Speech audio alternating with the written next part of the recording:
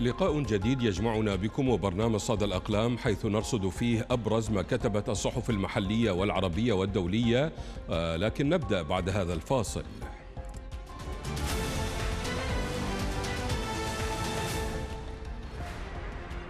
أهلا بكم. يشهد العراق أزمة غذائية كبيرة بدت واضحة بمعاناة شريحة واسعة من العراقيين في تأمين احتياجاتهم الغذائية الضرورية التي ارتفعت أسعارها إلى أكثر من الضعف بسبب الفساد المستشري في وزارة التجارة وسيطرة الأحزاب الفاسدة وميليشياتها عليها منذ 19 عاما فضلا عن آه، تحكمها بصادرات وواردات العراق وسعيها في تدمير الزراعة والمصانع العراقية.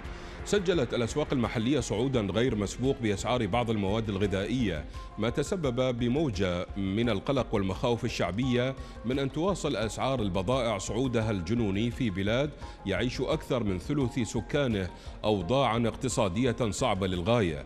وسط مؤشرات ترجح أن تؤدي زيادة الأسعار وما يصاحبها من تذمر شعبي إلى انطلاق موجة جديدة من الاحتجاجات المناهضة للسياسات الحكومية. حول هذا الموضوع نشر موقع الهيئة نت تقريرا نستمع إلى جزء منه. يرى خبراء اقتصاديون أن الأوضاع الاقتصادية السيئة ستضاعف نسبة الفقر في العراق ولا سيما مع ازدياد حالة تضخم الأسعار في السوق العراقية وثبات المدخولات للفرد ما يعني أن العراقيين سيزدادون فقرا بسبب غلاء المعيشة واستمرار حالة الكساد في الأسواق. لافتين إلى أن تخبط السياسات الحكومية في المجال الاقتصادي ساهم في الارتفاع المضطرد لأسعار المواد الغذائية. في وقت وصلت معدلات البطالة إلى مستويات مخيفة وأكد الخبراء أن الإجراءات التي اتخذتها السلطات الحكومية لمعالجة أزمة الغذاء ارتجالية وتعكس غياب الرؤية وانعدام الحلول الاستراتيجية. ولا تحل مشكلات انفلات الأسواق وقوة المضاربين بغياب سلطة الدولة وأدواتها. ولا تمنح أي ضمانات للأسواق التي ستبقى قنبلة موقوتة. موضحين أن حيتان التجارة المتنفذين والمرتبطين بأحزاب السلطة والميليشيات المسلحة يعتذرون بالأزمة الروسية الأوكرانية وتداعياتها في رفع الأسعار. لكن الحقيقة تخفي وراءها مضاربات بين هؤلاء التجار لرفع الأسعار وكسب المزيد من الأرباح. في ظل ضعف سياسة الرقابة.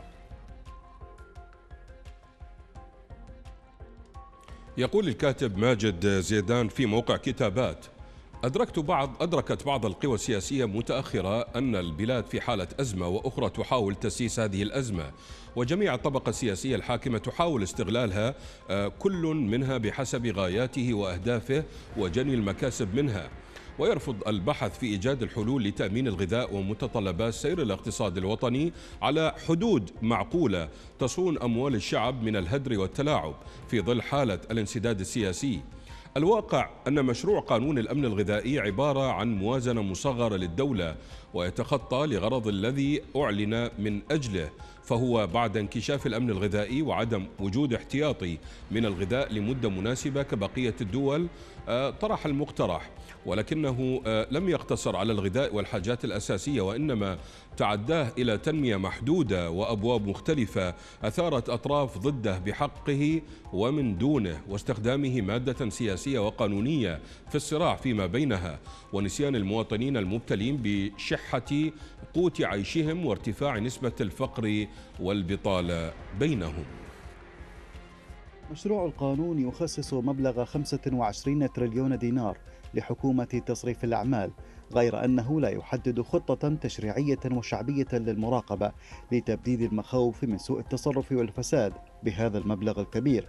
وربما سيزيد عن هذا الرقم المعلن بوجود فقرة تسمح بالاقتراض الداخلي والخارجي في الوقت الذي يقترب الدين من 100 تريليون دينار ولا مسؤول يعطي جوابا شافيا لماذا لا يتم تسديد جزء من هذا الدين من الفائض المالي النفطي الذي بلغ 20 مليار دولار.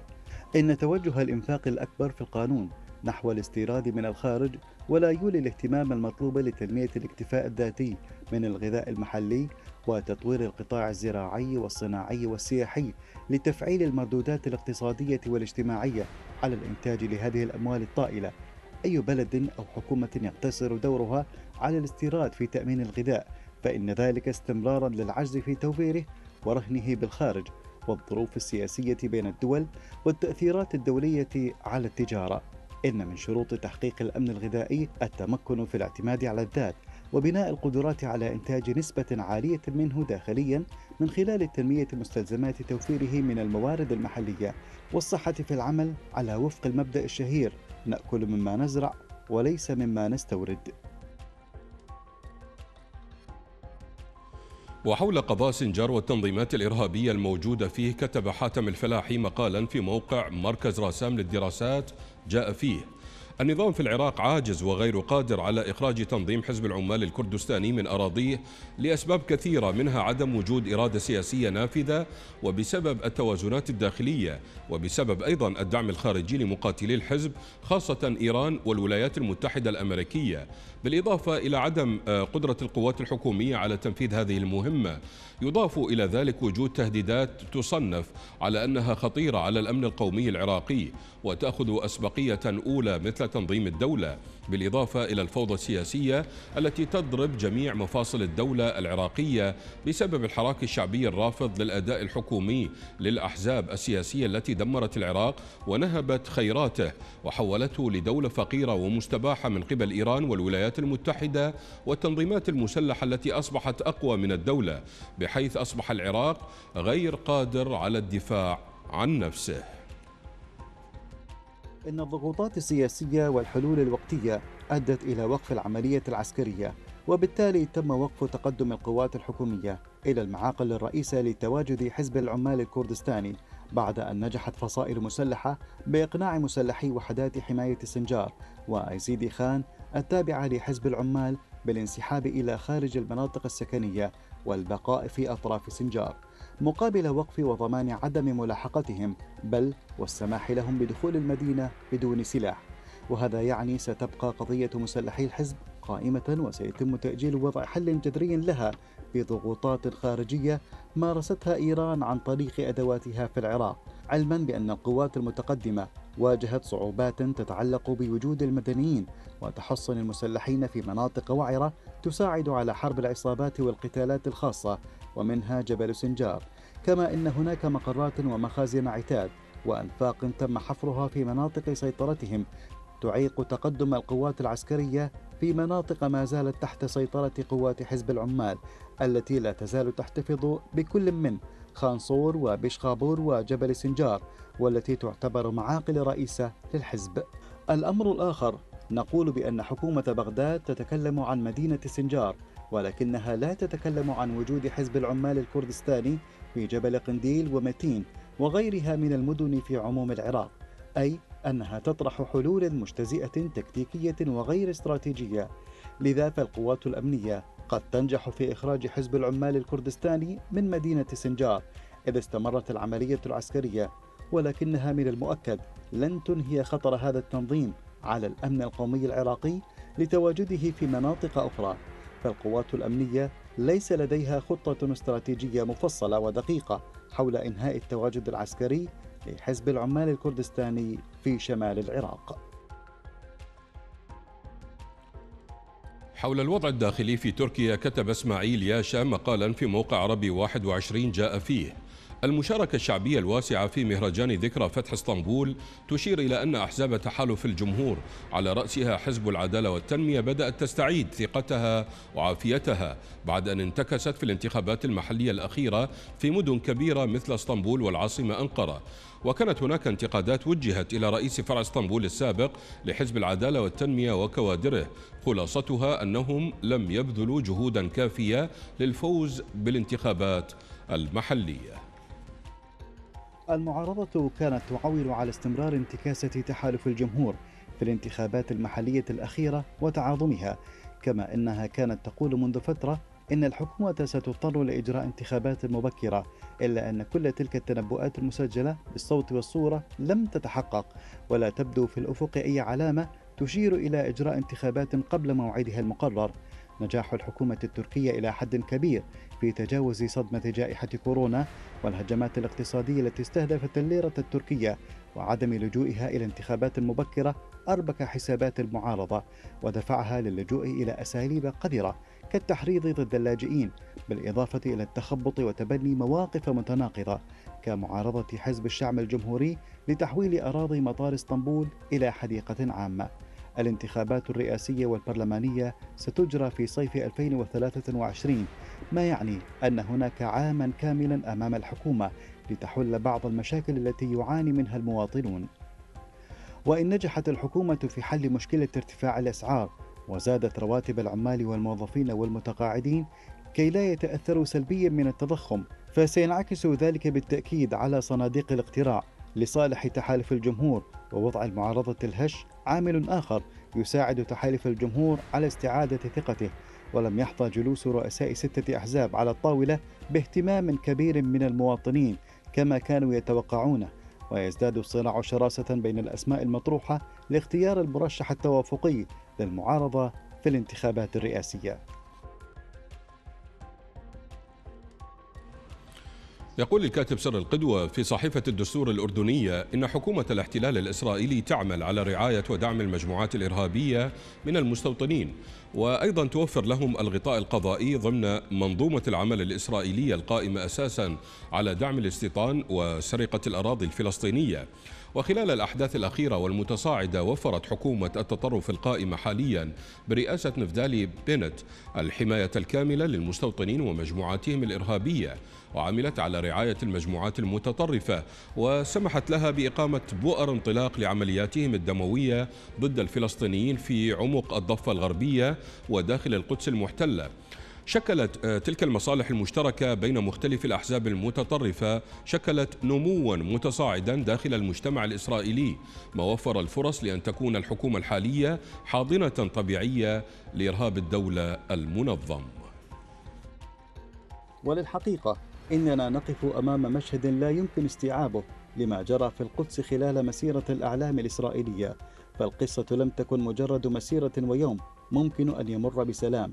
ولكن كنا أمام مشهد مرعب بكل المقاييس ويعبر عن واقع العنصرية المتطرفة والهمجية القائمة عليها دولة الاحتلال وإرهاب المجموعات المتطرفة وما جرى في مسيرة الأعلام لا يمكن التغطية عليه.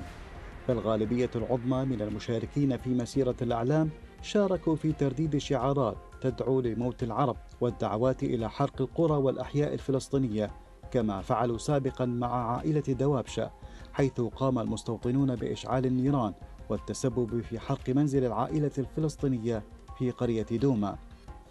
تلك الوقائع الصعبة التي شهدتها مدينة القدس المحتلة التي تمكنت بعض وسائل الإعلام من نقل جزء بسيط منها ليشاهده العالم ولكن تبقى الصورة الحقيقية وما يجري في المسجد الأقصى والأراضي الفلسطينية المحتلة من إرهاب وعنف وتنكيل يومي ضد الفلسطينيين وممتلكاتهم.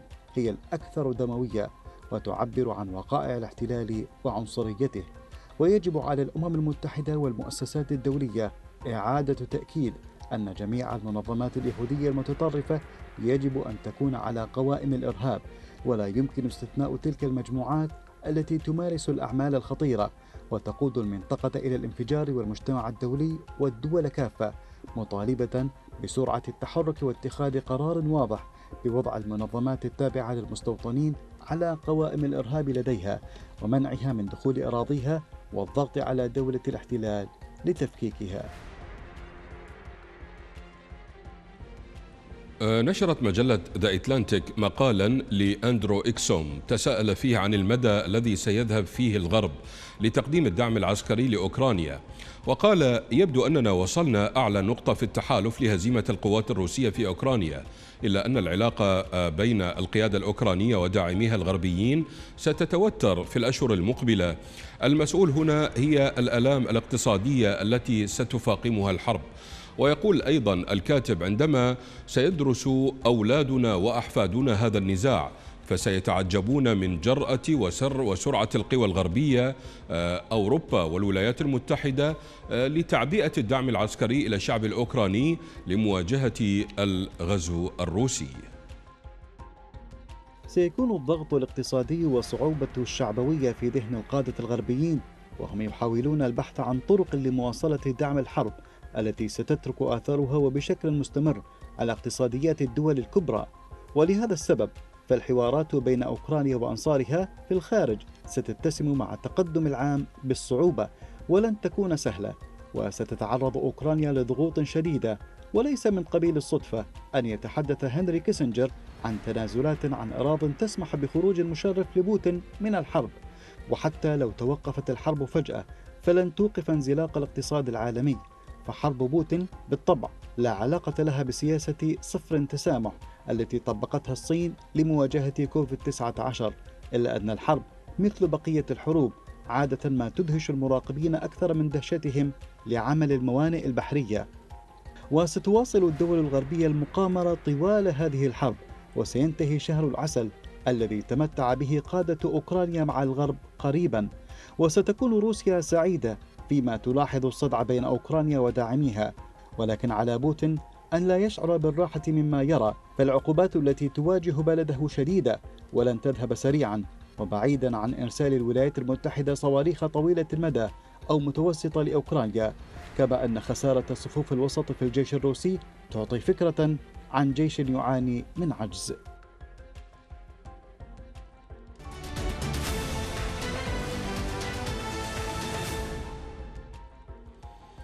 أعلن فريق طبي أمريكي عن إجرائه عملية زرع هي الأولى من نوعها لأذن بشرية أنشئت من خلايا المريض المعالج باستخدام طابعة ثلاثية الأبعاد. مشيرا إلى أن هذه التقنية يمكن أن تساعد الأشخاص الذين يعانون عيبا خلقيا نادرا. أجريت هذه العملية في إطار تجربة سريرية لتقييم مدى توفر السلامة في اللجوء إلى هذه الغرسة ودرجة فاعليتها للأشخاص الذين يعانون صغر الأذن والذين لم تنمو أذنهم الخارجية بشكل صحيح.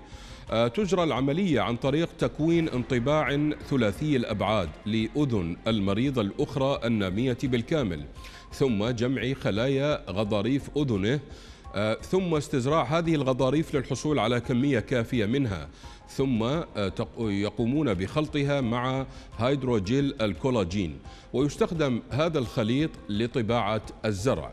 ويفترض بالأذن المزروعة أن توفر بمرور الوقت شكل أذن طبيعية من ناحية الملمس والمرونة.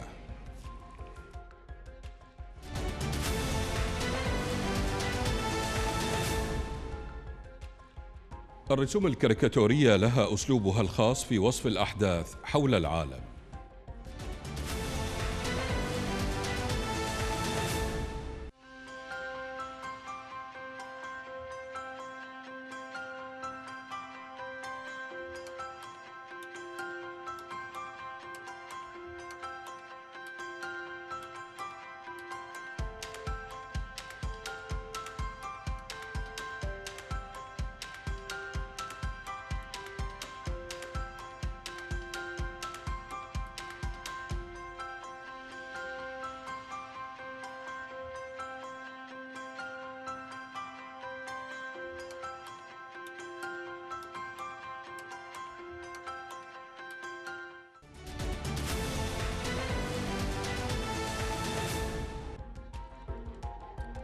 نلقاكم بإذن الله.